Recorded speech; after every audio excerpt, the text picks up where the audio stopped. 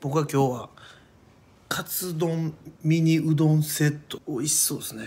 卵とじうどんも食べてと家内が申しております。青春の味なんだってよければ。へえ。卵とじうどん。店長？卵とじうどんっていうのもあるんですか？ありますよ。あのファンの方が青春の味は言うてます。冷めるから食べて。はい食べます。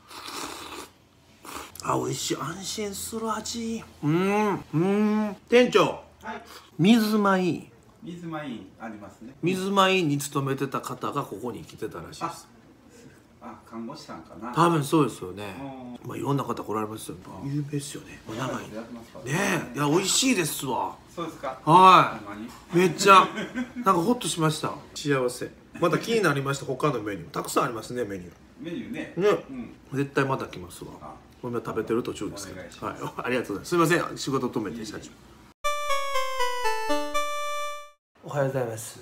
今日はですねこれです。リアコーヒーさん。これを引いてみよう持ってなかったので買いました。携帯用のミルですね。これでこうゴリゴリゴリゴリ。どんな風にするのかマジでわかんないですけど。これどれぐらい入れんのやどれぐらい入れんのかな？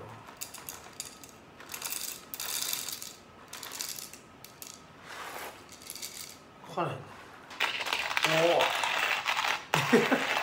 お おお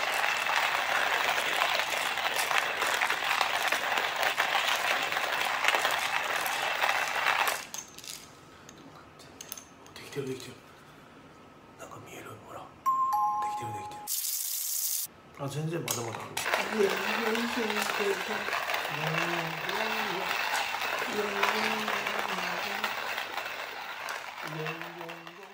じゃあいただきます。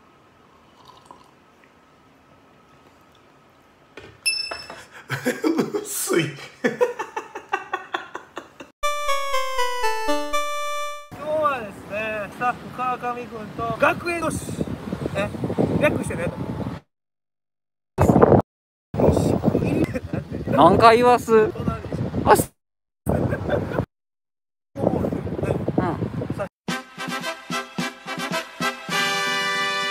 カバウマのお二人ですよろしくお願いします。カバオです。どうも。こっちがカバオです。カバオです。そしてこっちが馬でございます。よろしくお願いします。ブランチのことなら任せとけということで、ね、ブランチの人に言われましたからカバウマさんでどうでしょうカバウマの二人に、じゃあ案内してもらおうということではい、行きましょう。よろしくお願いします。お願いしますお願いします。カバウマカバウマカバウマカバウマカバウマいや俺じゃないね俺はこうなんあんのそうそう、こんなんあるぞ。これ登れるんで、大人もチャレンジできる。ほんまにハーネスつけて上まで行ける。めっちゃ無理クマチャレンジいやいやいやそんなね無責任に人をチャレンジさせたら ほんまあかん嬉しい、ここに困っちゃったってね。ブランチっていうのが木の枝っていうの枝ブランチって木の枝って意味やねんでそう、だからそこの 枝にこう小鳥がこう集まってきて、こういろいろこう会話するみたいな感じで、ここにみんなが集まってまた広がっていくみたいなそういうところなんで、ここ森のステージって名前なんですよ。へフードコートは森のダイニングとか、こう森っていうのがちょっと一つのコンセプトの施設なんですね。ほんでちょっとこの木の匂いがするそうそう全体的でもに本当にオリーブがあったり、屋上緑化とかいろいろある。どうしようなんかフォレストの恋とかいう曲とか作ろうかななんかうあんま売れなさそういや俺やな月1回必ずやらせていただいてます。そうそう。カバウマがはい。へえ他にじゃあ枠あるっしあ、ないです。あの、ょないことないやん小規模保育園安養さんって言って、0歳から2歳児までの子供が通う保育園もあるんです。なんならここが演歌作って。る人誰でしたえあそうなのあそうなのすごい上書きしよう上書き。今お仕事変えてきたお母さん。がここで預けておいてもう買い物して。すごいよねあほらほらほらほら名物のお兄さんがやばいよもう怪しいやん50僕ボンジュールとか言ってんで、はじめましてでボンジュールって言われることない僕らご紹介するのもあれなんですけど、えっと、ここの登録団体で、ちょっと有名なこうボンジュールっていう紙芝居、そう紙芝居してる人に、はい、じゃ、まずお願いします。ボンジュール？ボンジュール？皆さん、ボンジュール紙芝居です。こんにちは。こんにちは。ボンジュール？ボンジュールめっちゃ言う。ちろにね、いろいろまあ情報が載ってるんですけど、そこに登録団体がここ今な78もうちょっとですか？78はい。かわい。るそうでこれねこれこれ全部あこれはそれボンジュールカンちょっとまだボンジュールさんのことがわからないまま終わっていきましたけど。本日は熊さんのために森のダイニングからたくさんお取り寄せしましたケバブレストラン KC うまパン屋さんの集まりでございます。つまり。みずみずしいカリーダイニングサヒさんいただきます生スプ丸谷さんとんかつカツ丼そうそうそううんあうんええ顔すんなほんまいいとこですね初めて来ましたけど本当に子育てしやすいショッピングモールというかなかなかないところだと思いますんでぜひまた、えー来てください。ありがとうございますここからまた盛り上がっていただければと。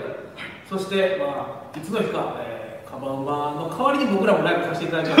あのすみませんスタッフさん。出てないこんなもん僕ら行けないから誰も人も応援してください はい、えー今日はですね、このブランチさんをお邪魔してですね、このブランチマスターという自称でしたけども、いやでも認めざるを得ない、いろいろ詳しいことをね、カバウマのお二人にお伺いしました。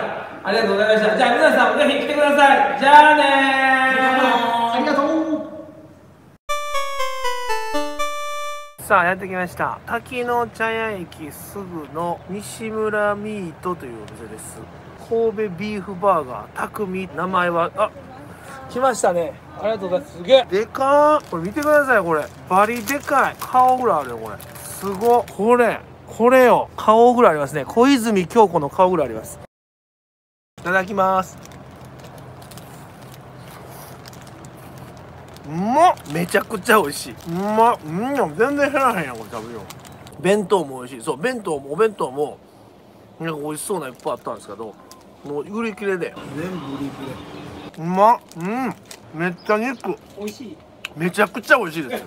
初めて食べたんですけど美味しいです。ここはお店どれぐらいなんですか？もう50年ぐらい。だあからわしの親父が肉屋始めた。ああそうですか。でそれからもう親父が死んでもう何何年なんかな。もう20年23年ぐらいなのかな。でもともと市場やってねうんうん、うん。大きい、はい。ほんでそれがもう取り壊しになってでちょうど僕のとこは矢面になったから、はい。全部やり替えて。へえくまちゃんの YouTube 見たよでランチ安くなるよう交渉して。そういうこと言わないの。みんな来てください。くまちゃんの YouTube 見たよって来てくれたら僕の株が上がるだけなんで。お願いします。はい今日もやってきました。今日はですね喫茶ブラジル YouTube 見てくれてる人はもう知ってると思いますけども寝袋にフローリングで寝て体バキバキのところを、えーマットレスを貸してくれたというそして喉ガラガラという話をしたらネックウォーマーまで貸してくれた優しい竹中店長がいるお店。すごい量のメニューですわ。ドリンクメニューだけで鬼。カレーうどんかつご飯付きセットは軽食って言うんでしょうか？お子様メニューもねおもろい名前がマリンちゃんとキティちゃんと。栄養満点パンプリンっていうね名前もちょっとすごいなちょこっと一品に揚げ出し豆腐ある。揚げ出し豆腐ある喫茶店ある？枝豆もあんもん。飲めるやん。定食のメニューがねこう鬼なんですよ。これがすごい。これものすごいボリュームで。来た！絶対にこれが名物っていうマッターホルンっていうパフェがあってそれが今来ました。もうこれ。ちょ高中さん映していいですか？これです。これです。マッターホルン。マッターホルンこれやばいっしょ。これマジです。これはあこれもう反応ありますね。これすごいっしょ。シュワルツェネッガーの腕ぐらいあると思いますよこれ。一人で食べられへんから隣のテーブルにスタッフのお花とうちのドラムのオフィシャルサポートドラムの家賃さんもいます。ソーシャルディスタンス。隣のテーブルにいますんでね。これおかしいやな。ちょっともう分けよう。溶ける前にいただきますうまっ。フルーツもめっちゃ美味しい。ソーシャルディスタンスを保って隣のテーブルで食べてもらってますけど。美味しい。片プリンが大好きなんで美味しいです。美味しい。お花は？アイスプリンも美味しい。顔子供なってんね。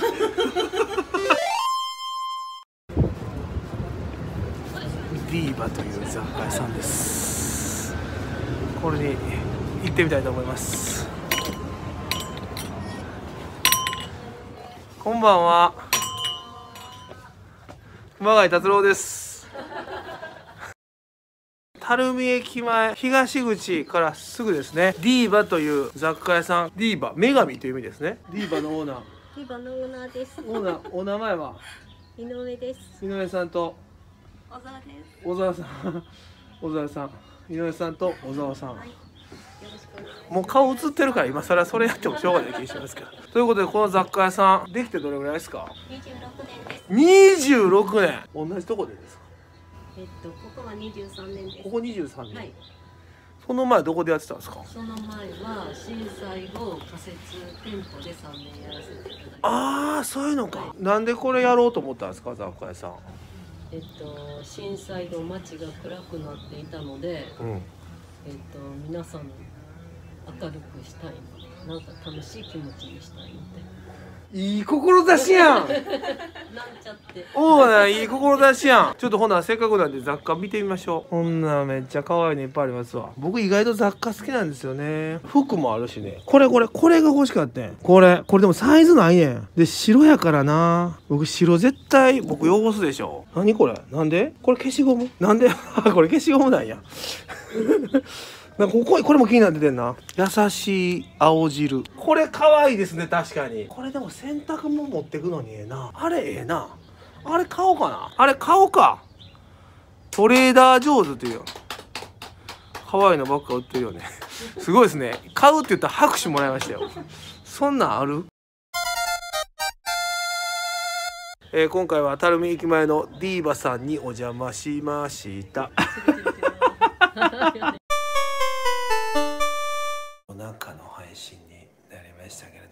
あれだけ買い物しないと言ってた私がですね買い物をしてしまいました。チビパンというですねこれ買ってしまいました。ちっちゃいフライパン。今日はですねラジオ関西に来てましてパンを食べるという配信です。これです。フィッシュバーガー。ピピピピピ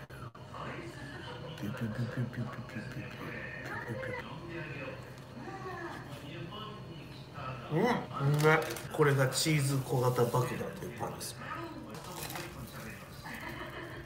うん、うん、めっちゃうまいカリカリやうまこれうまむっちゃチーズ入ってるゴロゴロ入ってるこれうまこれうまうんうん。これうまいわ。うんうんうん。初めて来ました。お店の名前何でしたっけ？あ赤す赤崎。や。赤崎さんに来てます。友達に教えてもらったんですけどここのスープがめっちゃ美味しいということで、まあえー焼き鳥屋さんなんですけど、まあ、焼き鳥もめっちゃ美味しかったです。もう食べました。食べ終わって締めのやつ今日はねちょっと初めて締めを配信しようかなと思って。めっちゃいい雰囲気。あ起きた。この店員さんがまだいいいいんすよ小気味小気味彼女募集中。彼女募集中です。募集中言うてもいい彼女電話番号入れとか ぜひともお願いします。めちゃくちゃ美味しそうです。うわ美味しい。うまみがすごいな。鶏のうまみとごま油で揚げてんのに全然嫌じゃないんですけど。美味しい。これはすごいなこれ発明やな。食べやすいっすわ。飲んだ後には最適なうん。締め料理ですねいいですね。これ鶏炊いてる鶏炊いてるだけだけ鶏ガラを炊いてる。だけ？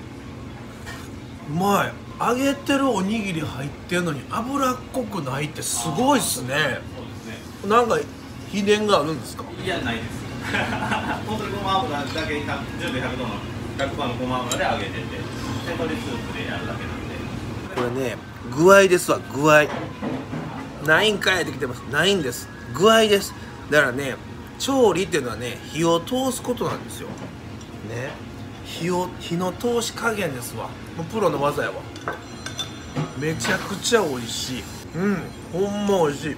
これもう一回食べたなんな赤崎さんぜひ来てください。これ600円結構なボリュームですね。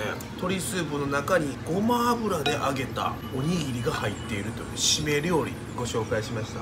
今日は赤崎さんというですね焼き鳥屋さん。焼き鳥もものすごく美味しいんですけども揚げ鬼人気ランキング1位。この揚げ鬼です。いただきました。それでは皆さんありがとうございました。揚げ鬼食べに来てね。